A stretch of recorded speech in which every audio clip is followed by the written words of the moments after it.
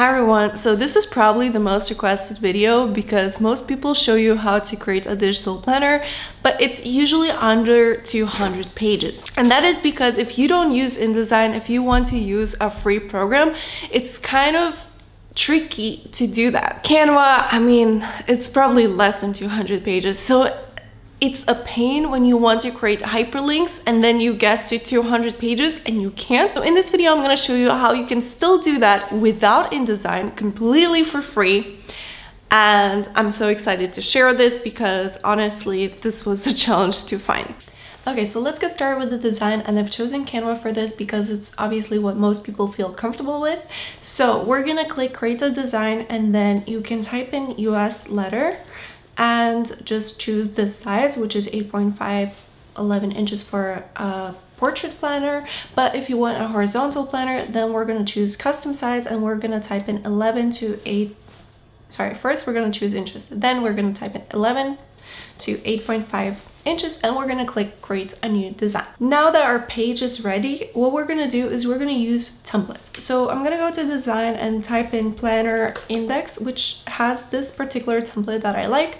Then I'm just to click on it and choose my first page. I get this question a lot and it is whether or not you can use these designs to sell on Etsy?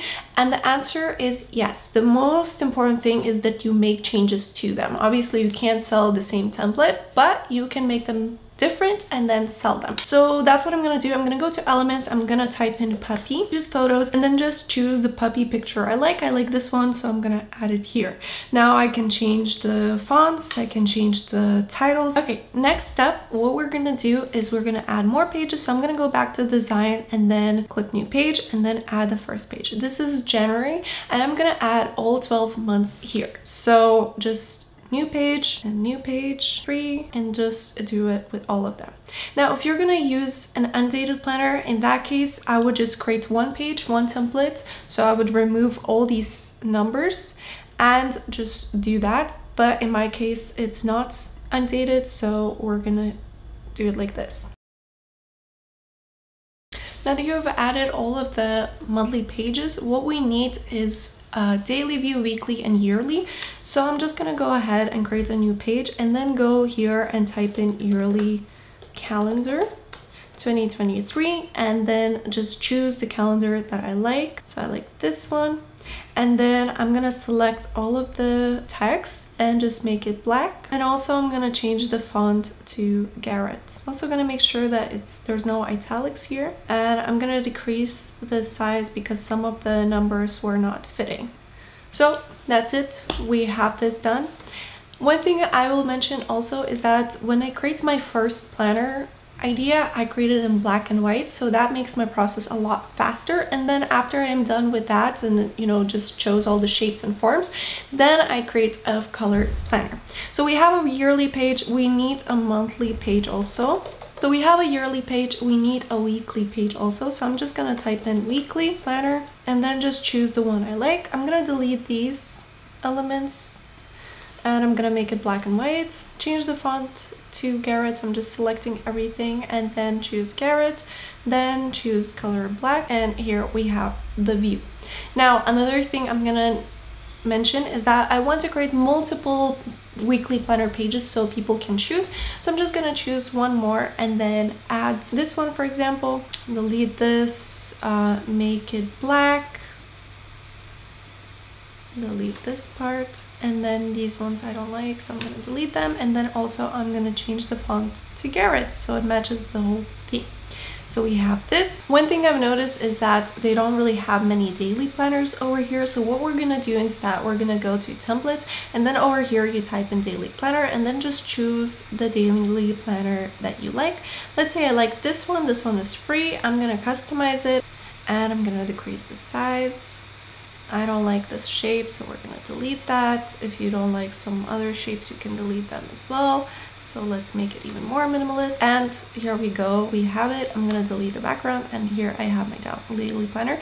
Then I'm just gonna select everything and then I'm gonna go back to this planner and I'm gonna just paste it over here. And then I can choose what I do with it. Maybe you want to have multiple days here, but I'm gonna do it like that and then I'm gonna go ahead and add a to-do list. So it has two sides to it. So I'm gonna choose, let's say this one, and then I'm gonna customize this template. Again, same thing, select everything, change the colors, always make it black.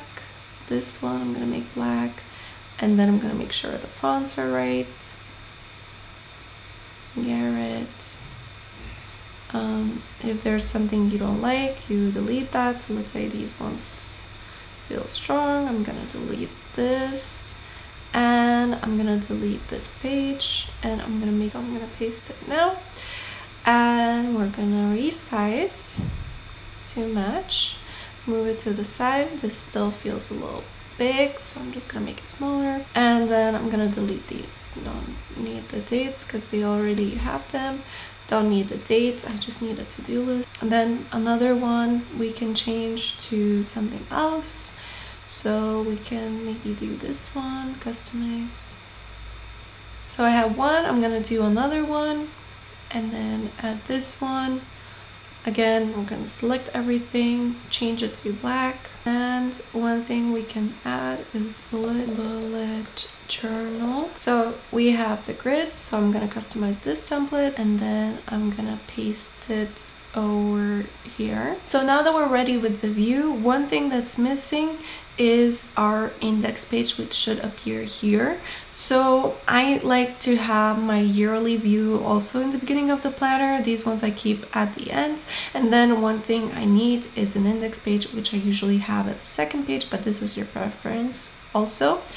So i'm gonna add text add a heading i'm gonna make sure that this is my font and then i'm gonna resize it and type in index then I'm gonna move it, copy, and then I'm gonna say yearly, I'm gonna say monthly, I'm gonna say weekly, and I'm gonna say daily. And then I'm gonna select everything, move them to the side, make them a little smaller, and I'm gonna add spacing like this. So this is my index. You can obviously add more things to it but that's all I'm gonna add. So now that we're done with the template, as you can see, I have 21 pages. So I have an index page, yearly page, monthly pages, and daily pages. I don't create each individual page. I just create the designs that we're gonna use and then we can repeat those designs endlessly. So now let's download this. Okay, and now for the good part. So we're gonna download the program which is called LibreOffice. It's basically the same as PowerPoint. If you do have PowerPoint, so you can just use that. But obviously PowerPoint is not free. So that's why in this video, we're gonna use LibreOffice, but the principle is really the same. Are you gonna let me work? Oh, cute boy. But I need my laptop boy. Let's try this. Let's try to work with the puppy. Okay. No, get off. Off you're biting me that's no so the free version is going to be to download libreoffice. So just go to this website. I'm going to link it in the description as well. And then choose your system and click download. Okay so let's go to the program. Make sure that the planner is extracted as well. So we have it ready and then we go to LibreOffice and then I'm going to choose presentation. So as you can see, this is really, really similar to Excel, Words, and PowerPoints, Basically the same thing, just free. So we're going to click this and I'm not to use a template so I'm to click close. So now the biggest thing is to change the page size. So I'm to just delete these because I don't need them and then I'm to go to slide, slide properties and I'm to change the size. So here I'm just to choose letter because that's what I chose make sure it's landscape and then these I'm just gonna make them zero unless you want to print this out I would recommend you do the same because it's just gonna add one centimeter around and you don't want that so I'm just gonna delete all of this and then click OK. Now that we have our page correct size, we can start uploading our planner. I have the first page. I'm going to click insert image. If you can't see this part, just click over here to properties or you can use the shortcut. And then I click insert image and then I go to my planner and click the first image and here we go. Now we're gonna add all our pages like the same way. So I'm just gonna copy and paste the slide. You can do it either right click, copy and paste or shortcuts. And then I'm gonna use insert page and choose two. Now it was very important that you chose the to create a planner in a certain strategy. So, you know, you made sure that the first page is the cover, the second page is your index page, sec third page is your yearly page, then all the monthly pages, because it's gonna make it a lot easier for you to upload all the slides. So as you can see, I know that slide three is my slide three on Canva, so it's the same thing and then I'm just gonna repeat the process. Another thing I want to mention to you is that I choose to insert the image this way because then I can't edit the document and it's always nice to have the background that you don't move and don't mess around when you want to add other elements. So I'm gonna insert the image, choose slide 5 and again I'm gonna speed this process up and come back to you once I'm done so you don't have to go through this with me.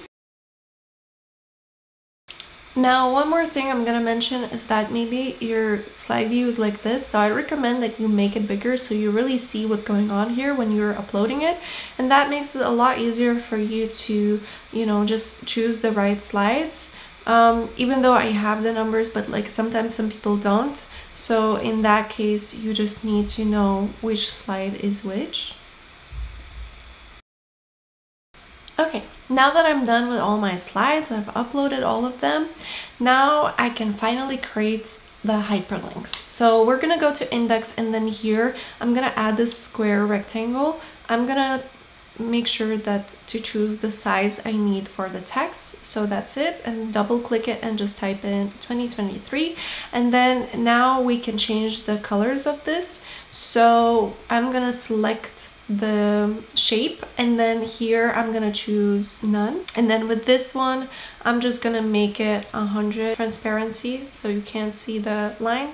And here it is we have it ready. You can also always resize the shape if you want so that's not a problem but the most important thing is that it's transparent. Now I'm gonna copy and paste the same thing. I'm gonna move it to monthly and then over here I'm gonna say 0102 so basically just type in all the months. And as you can see the shape is on the correct size so I'm just gonna drag it here so it fits. And I'm gonna make it to the side and then something I added enter or something. So here we have the months as well.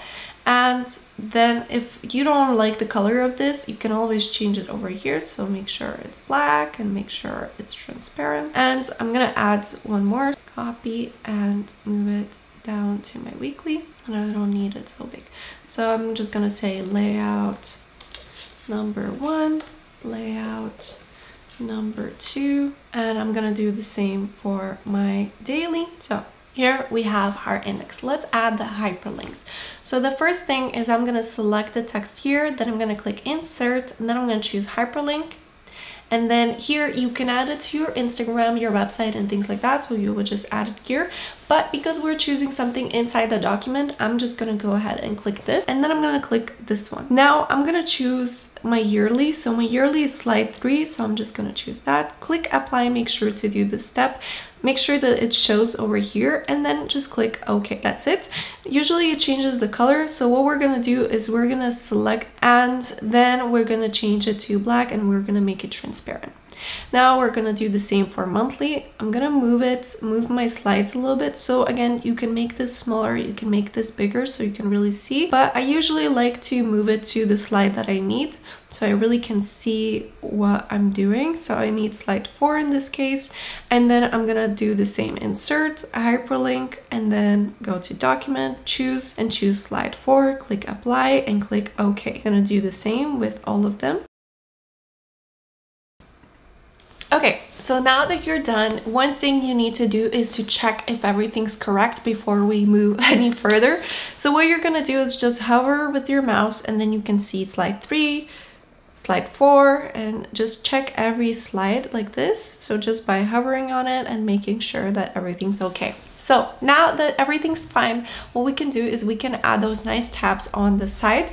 The way we're gonna do this is we're gonna go to our index page and then we're gonna choose master view. And then over here we're gonna add the tabs. The way you add the tabs is the same. You just add the rectangles that you need. So I'm just gonna add first I'm gonna add six. So copy and move them. If you click shift it moves faster. So just letting you know. Now that I created six of them, I'm just gonna select all of them and then I'm gonna copy and paste and move them with shift and then add one more for my index page. Now that we have all of them, I'm gonna select all of them and I'm just gonna drag them to fit the size that I want. Now we can change the color of this. So I'm gonna choose a light gray and I'm also gonna choose the line color, so custom, and then let's say I want them white. So here we have our tabs ready. Now, what we need is to add text. So I'm gonna type in here and I'm gonna just do this symbol for index.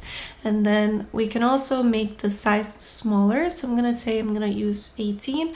I'm gonna copy this and paste it because then it just keeps the formatting. And I feel like this should be a little smaller. So I'm gonna copy this and paste it change the number. So I do it so that I don't have to constantly change the fonts, but they always stay the same. Okay, perfect. Now that we're done with this, we can add the hyperlinks here. So again, what I'm gonna do is I'm gonna select this and I'm gonna say insert hyperlink and then choose document and then choose where my index page is. Now the tricky part is to remember which page is which. You can always change the names of this, um, but I know specifically that my index page is slide 2 so I'm gonna click apply and okay. And then I'm gonna change add these as well. You can always exit the view to see. So you would just click close master view to see where everything is. So I know that slide one is this, slide two is this. And then I know that my months start from slide four. So I'm gonna go back to my master view and then I'm gonna choose this. And then I'm gonna add the hyperlink by going to slide four apply, click OK, and then I'm just gonna add all of them. Okay, now that I'm done, I can close my master view. And one important thing I want to tell you is that if you don't want the tabs to show up, for example, on your cover page, what you can do is just remove master objects and that's it. So very easy. And so now it only shows up on these pages, but not on this one. And now that we're done with the planner, we need to export it. So we're just gonna click File, Export as PDF, and then choose the settings you want. So for example, if you're not gonna print this, then I would recommend that you reduce the resolution size at least to 150 or probably even more. And I'm gonna export and now I'm gonna show you how it looks like on GoodNotes. So you can use it on GoodNotes and other apps as well. Um, let's just upload it. So I'm gonna click plus, import. Okay, so this is how our planner looks like. We make sure that we choose the links so we can click on them. I'm gonna go to the index page and I can go to all the links and see them and click on all the tabs over here. Can also always go back to my index page and then go to the monthly view. The client can always duplicate this layout. So let's say I create a new page and I'm gonna just use current templates. I'm gonna choose this one and then I have as many weekly pages as possible. I hope that this video is helpful. If you have any questions, just leave them in the comments below. I will make sure to try and answer to all of them. Thank you so much for watching and see you next time. Bye.